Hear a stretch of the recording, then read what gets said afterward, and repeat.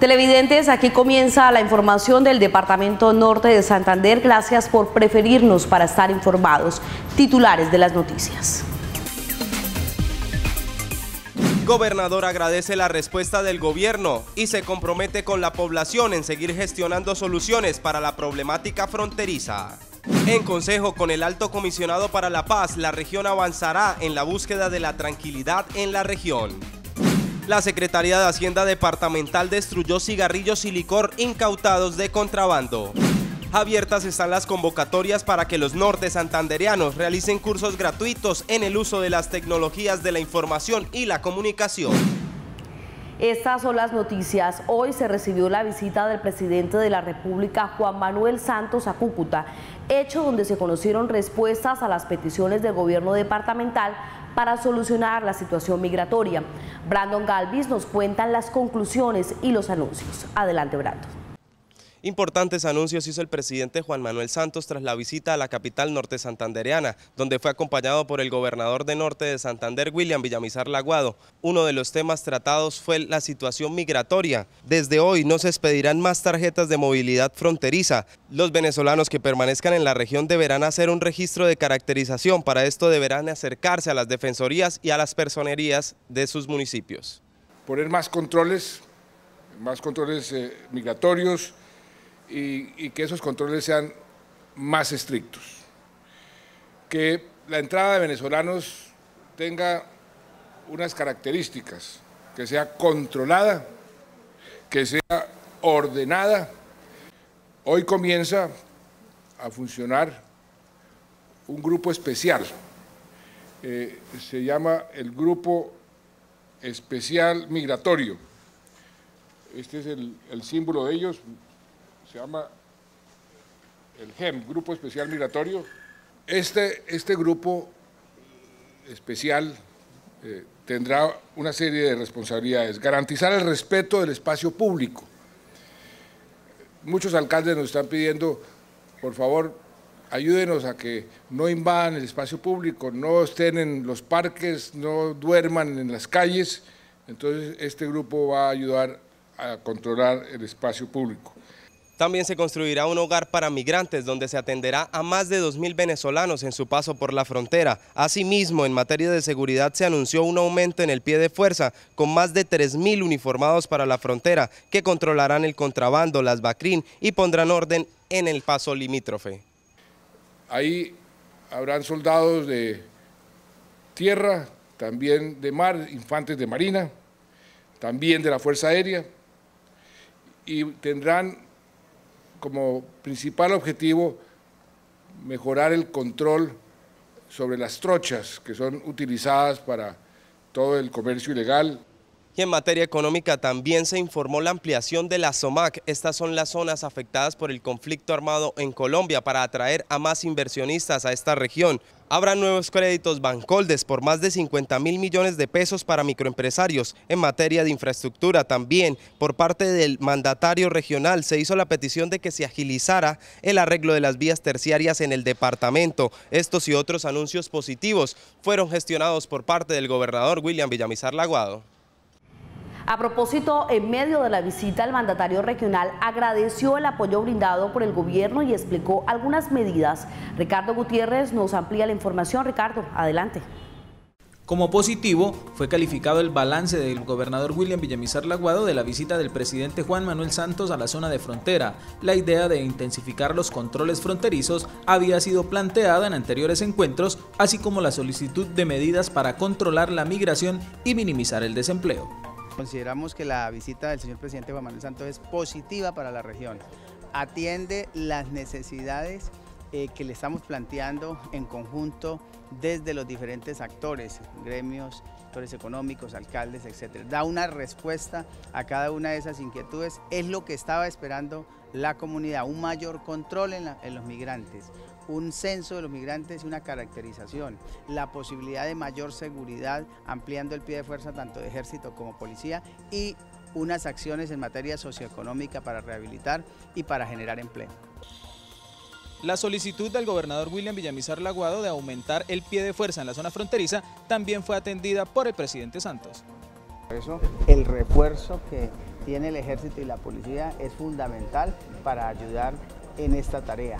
Esperamos obviamente que en el sector de Venezuela también se den unas acciones similares para que haya una lucha conjunta contra el crimen organizado, contra el narcotráfico y contra el contrabando. El mandatario regional se comprometió a seguir prestando especial atención a la situación que se está presentando con los migrantes venezolanos en norte de Santander. Y en otros temas, este viernes se realizará en la ciudad de Cúcuta la sesión del Consejo de Paz Ampliado. Al encuentro asistirá el alto comisionado para la paz en Colombia, quien buscará junto a las autoridades departamentales que cesen los actos violentos en el departamento norte de Santander.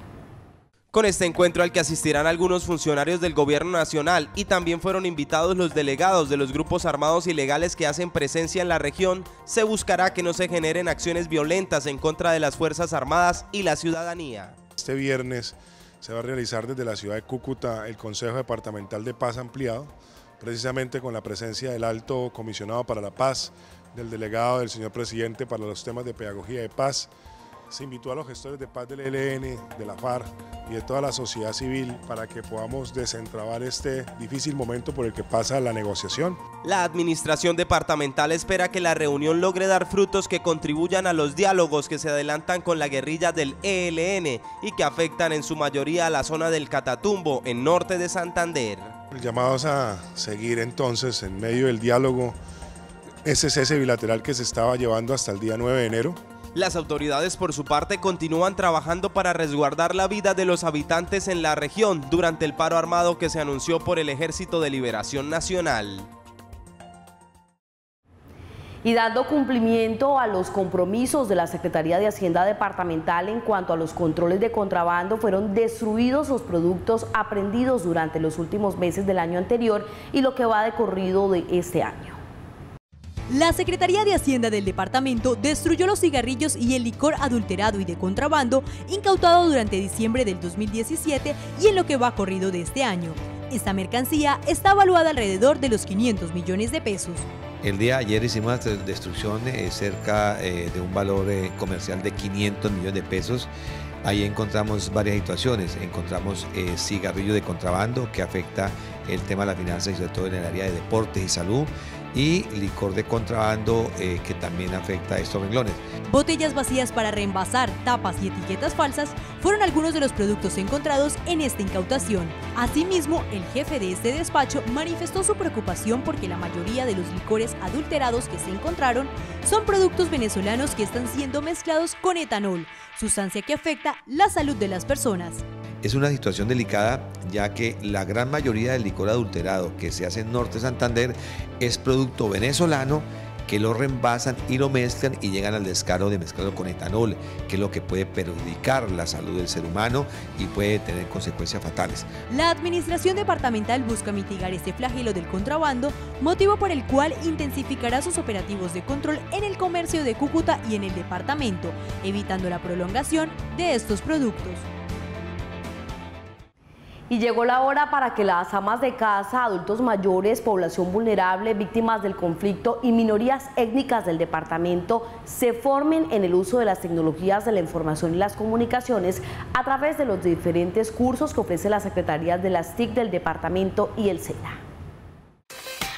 Los norte santanderianos interesados en capacitarse de manera gratuita en los cursos de formación TIC lo podrán hacer gracias al convenio realizado por la Secretaría de las Tecnologías de la Información y Comunicación de la Gobernación de Norte de Santander y el Servicio Nacional de Aprendizaje SENA, una iniciativa con la que se busca ir cerrando la brecha digital en el departamento. Eh, hemos firmado un convenio con el SENA en el cual pues vamos a hacer formación técnica, que es una, una, técnica que pues... Eh, se va a hacer en seis meses. De la misma manera tenemos cursos de ofimática, de Word, eh, de todo lo que tiene que ver en apropiación de las tecnologías. Las personas podrán formarse y hacer parte de esta nueva era digital y tecnológica dirigiéndose a la oficina de la Secretaría en las instalaciones de la cúpula chata y presentar cada uno de los requisitos. ¿Qué deben hacer eh, los ciudadanos norte santanderianos? Acercarse a la Secretaría de las Tecnologías. De la misma manera está en la página web.